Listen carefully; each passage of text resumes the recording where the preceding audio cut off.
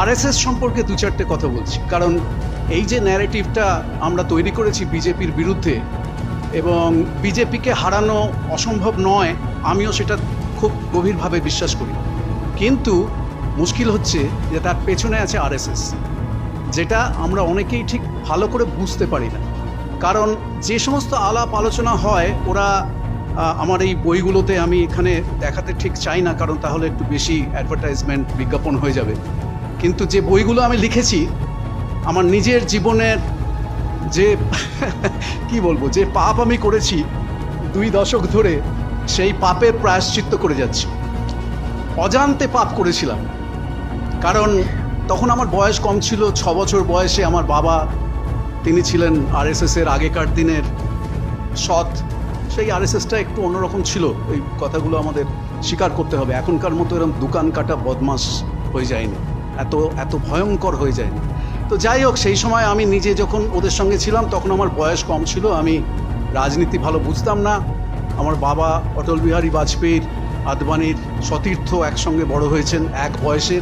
তিনি আমাকে হাত ধরে এইখানে কাছেই, মানিকতলার কাছেই গোয়া বাগানে আমি বড় হয়েছি। স্কটিশ চার্চ কলেজিয়েট স্কুলে পড়েছি। আমার হাত ধরে নিয়ে গিয়েছিলেন। আমি তখন রাজনীতির কি বুঝি?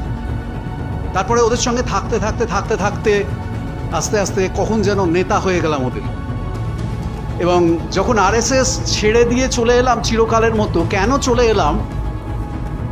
কারণ যে মুহূর্তে যাকে আমরা বাংলায় বলি জ্ঞানচক্ষু উন্মিলিত হলো, যখন বুঝতে পারলাম যে এরা আসলে কি what do they stand for দেখলাম যে তারা ধর্মান্ধতার পক্ষে, তারা বাঙালিত্ব জিনিসটাকেই সম্পূর্ণভাবে ঘৃণা করে।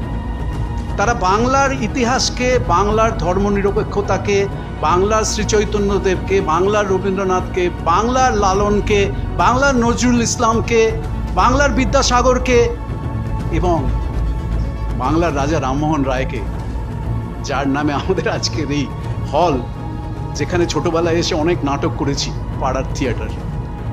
তারা সবাই ধর্মনিরপেক্ষতার পক্ষে কথা বলে গেছেন। তারা সবাই উদার নৈতিকতার পক্ষে কথা বলে গেছেন।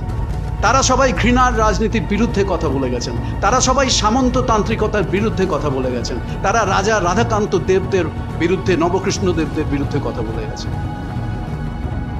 নেতাজি সুভাষচন্দ্র বোস, যাকে এখন আরএসএস তার নিজেদের লোক বলে প্রোপাগান্ডা মেশিনে চাপিয়ে দিয়েছে।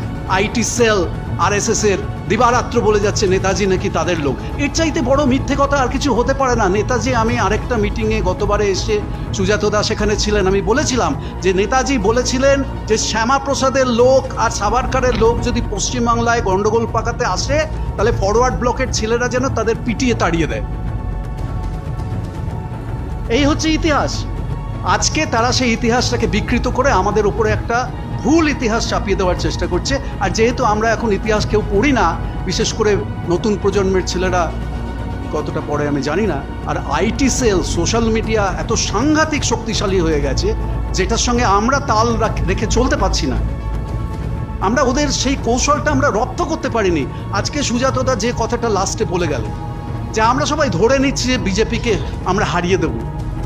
কিন্তু আমরা দু হাজার উনিশেও ধরে নিয়েছিলাম যে বিজেপিকে আমরা হারিয়ে দেবো। হঠাৎ তুরুপের তাস বেরিয়ে গেল পুলওয়ামা, যার এখনও পর্যন্ত তার কোনো তদন্ত হয়নি, বিচারও হয়নি, কিছু হয়নি, মিডিয়া তার কথা বলেই না। কে বলতে পারে দু হাজার চব্বিশে তারা কোন তুরুপের তাস বার করবে? তার জন্য কি আমরা প্রস্তুত আছি? আরএসএস যে এত দীর্ঘকাল ধরে যে তারা সংগঠনটা গড়ে তুলেছে একটু একটু করে, আমার বই দানবের পেটে দু দশকে আমি বলেছি যে এমন একটা দানব, যে দানব, যে আসলে যে দানব সেটাই কেউ বুঝতে পারছে না। ভাবছে, ও, এ কি? এখানে পার্কে কি সব খেলাধুলো করে? হাডুডু, কাবাডি কি সব খেলে আর কি? একটা অদ্ভুত একটা প্রার্থনা করে এমনি বুকের ওপরে একটা হাত নিয়ে এসে কেউ তাদেরকে পাত্তাই দেয়নি কখনো। আমরা যখন গোয়া বাগান শাখা, এই মানিকতলা শাখা ছিল ঠিক এর পাশে আজকে দেখতে গিয়েছিলাম, সেখানে এখন বাড়ি উঠে গেছে। যখন আমরা এখানে খেলতে আসতাম, আমাদের নিয়ে সব হাসাহাসি করতো। কেউ আমাকে সিরিয়াসলি নিত না। কিন্তু একটা দানব, সে আস্তে আস্তে আস্তে আস্তে শক্তি সংগ্রহ করছে সক- সকলের অগোচরে। এবং তারপরে সেই দানবটা প্রায় একশো বছর হতে চলল। উনিশশো পঁচিশে নাগপুরে আরএসএস এর প্রতিষ্ঠা হয়েছিল। দু হাজার পঁচিশ আসতে চলল। একশো বছরের সেই দানবটা এমন শক্তি সংগ্রহ করেছে যে সকলের অগোচরে থেকে সে এখন ভারতের পুরো ভারত ভাগ্য বিধাতা ভুলভাবে ব্যবহার করলাম, ক্ষমা করে দেবেন তাহলে তার বিরুদ্ধে যদি আমাদের লড়াই করতে হয়, তাহলে কেবলমাত্র বিজেপির বিরুদ্ধে লড়াই করলে তো আমাদের চলবে না। আমাদের আসল লড়াইটা করতে হবে আর এস এর বিরুদ্ধে। এই জন্যই আমি আমার বইগুলো লিখেছি। দানবের পেটে দু দশক। প্রথম আমার বই বেরিয়েছিল, আমি তখন সায়েন্টিস্ট তারপরে আমি নাইন ইলেভেনের ঘটনার পরে আমি সায়েন্স ছেড়ে দিয়ে আমেরিকাতে জন আন্দোলনের কাজে নিজেকে নিয়োজিত করেছি। আমি ইমিগ্রেন্টদের জন্য মাইগ্রেন্ট লেবারারদের জন্য কাজ করেছি। মেক্সিকোর বর্ডারে গিয়ে আমি কাজ করেছি। যাই হোক, সেখানে যেসব কাজ করেছি, আমি নিজের ঢাক নিজে পেটাতে এখানে আসিনি। কিন্তু আমাকে আপনারা বিশ্বাস করুন, আমি যখনই ফেসবুকে খুব লিখি, এখানে আমার ভাই আছে নোভোট টু বিজেপির একজন প্রধান কারিগর, তারা জানে যে যখন লিখি, আমাকে অনেকে বলে যে, এই লোকটাকে বিশ্বাস করা যায় না। এ বেটা কুড়ি বছর আর এস এসে ছিল। এখনও এর মনে কি আছে কে জানে। বা এতদিন আরেকটা যেটা শুনি যে এতদিন লাগল কেন আর এস এস ছেড়ে বেরিয়ে চলে আসতে। আরে বাবা, আমি চল্লিশ বছর আগে আর এস এস ছেড়ে বেরিয়ে চলে এসেছি। সেটাও চল্লিশ বছর হয়ে গেল। আমার এখন ছেষট্টি বছর বয়স। ছাব্বিশ, পঁচিশ, ছাব্বিশ বছর বয়সে আমি আরএসএস ছেড়ে চলে এসেছি এবং তারপর থেকে এক টানা আরএসএস এর বিরুদ্ধে, স্বৈরতন্ত্রের বিরুদ্ধে, ফ্যাসিবাদের বিরুদ্ধে, ধর্মান্ধতার রাজনীতির বিরুদ্ধে, ঘৃণার রাজনীতির বিরুদ্ধে আমি কাজ করে যাচ্ছি। একজন বাঙালি হিসেবে, একজন প্রগতিশীল বাঙালি হিসেবে, রবীন্দ্রনাথের শিষ্য হিসেবে, নজরুল ইসলামের বিদ্যাসাগরের, রামকৃষ্ণদেবের যত মত, তত পথের শিষ্য হিসেবে আমার পক্ষে আর কিছু করা সম্ভব না। আমাকে আরএসএস এর বিরুদ্ধে লড়াই করতেই হবে। সেই লড়াইতে আপনাদের সকলকে সামিল হতে হবে। বিজেপিকে আমাদের হারাতেই হবে, কিন্তু বিজেপিকে হারাতে গেলে আরএসএস সম্বন্ধে ভালো করে জানতে হবে। তাদের গেম প্ল্যানটা বুঝতে হবে। তাদের তুরুপের তাসগুলো কি কি থাকতে পারে? Plan A plan B plan C কি কি তারা করছে? তাদের টাকা, তাদের কালো টাকা, তাদের আদানি, তাদের আম্বানি, তাদের বিদেশ থেকে আসা কোটি কোটি ডলার এবং পাউন্ড সমস্ত কিছুর হিসেব আমাদের রাখতে হবে। এবং তাদের মুসলমান বিদ্বেষ। One agenda. হিটলার বলেছিল যে জার্মানির সমস্ত কিছু গন্ডগোলের মূলে, ব্যর্থতার মূলে হচ্ছে ইহুদিরা। সরাসরি তার থেকে আরএসএস নিয়েছে এবং বলছে যে ভারতের সমস্ত কিছু সমস্যার মূলে হচ্ছে মুসলমানরা। ওয়ান এজেন্ডা পার্টি, মুসলমান বিদ্বেষ, আর কিচ্ছু না। এবং সেইটাকেই ওরা উপজীব্য করে আজকে ভারতে এত বড় একটা সাম্রাজ্য গড়ে তুলেছে।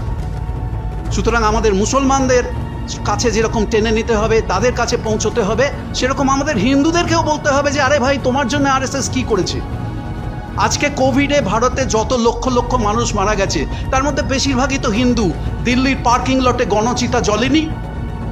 তখন মোদি তোমাদের বলেনি যে, তোমরা ছাতে উঠে থালাবাটি বাজাও, করোনা চলে যাবে। সেসব কথা ভুলে গেলে চলবে? আজকে এদের মতো একটা বিজ্ঞান বিরোধী দল, এদের মতো একটা নারী বিদ্বেষী জল, দল যারা রাম রহিমকে সমর্থন করছে, যারা বিলকিস বানর ধর্ষকদের ফুলের মালা দিয়ে পুজো করছে, যারা হাতরাস উন্নাওয়ের ধর্ষকদের পাবলিক ফাংশনে ডেকে নিয়ে গিয়ে তাদেরকে মাল্যদান করেছে। যারা চিরকাল বলে এসছে যে মেয়েদের স্থান হচ্ছে অন্তঃপুরে এবং মেয়েদের কাজ হচ্ছে সন্তান উৎপাদন এবং সন্তান প্রতিপালন এই বাইরে এবং পুরুষের সঙ্গী হিসেবে তারা বাঁচবে। এই সমস্ত তথ্যগুলো আর এস এর এই সমস্ত তথ্যগুলো যদি সরল ভাষায়, সহজ ভাষায় মানুষের কাছে তুলে ধরা যায় আমার ধারণা এখনও ভারতবর্ষটা এত খারাপ হয়ে যায়নি যে তারপরেও সমস্ত লোক জেনে শুনে মহিলারা, মুসলমানরা এবং দলিতরা এবং হিন্দুরা, উচ্চবর্ণের হিন্দুরা সমস্ত জেনে শুনে এসে আর কে না বাবা, তুমি সব কিছু তোমার খারাপ, আমরা জানি, কিন্তু তা সত্ত্বেও আমরা তোমাদেরকে ভোট দিতে চাই। এরকম হবে বলে আমি বিশ্বাস করি না। ভারতের মানুষ এত বোকা নয়। আজকে আমাকে এই অনুষ্ঠানে সুযোগ করে দেওয়ার জন্য আমি অত্যন্ত কৃতজ্ঞ। আপনাদের সকলকে ধন্যবাদ জানাই। আমি আছি, আমি আঠারোই এপ্রিল আমেরিকায় ফিরে যাব, কিন্তু আমি আবার যখনই আপনারা ডাকবেন, তখনই এখানে চলে আসব। আমি সম্পূর্ণ মুক্ত, স্বাধীন আপনার